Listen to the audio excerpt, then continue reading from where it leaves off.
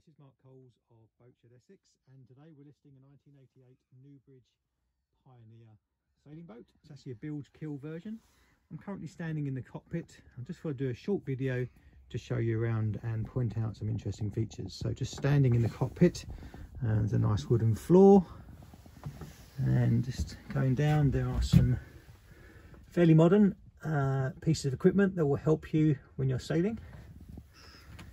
There's a companionway which is now nicely open and you'll see the interior video on the advert but just to show you again it's all very tidy all very clean uh, smells quite fresh and in good condition. So just a short video up on deck. Uh, you can see the compass there. Which is a nice of sailing boat well put together well looked after comes with a spray hood and a sail cover as well. For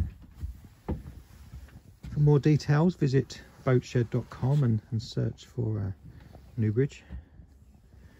There's details of the engine there. It's a tiller steer version, which leaves lots of nice space in the cockpit. And to the stern, a swim ladder, should you wish to jump off and uh, climb back on again.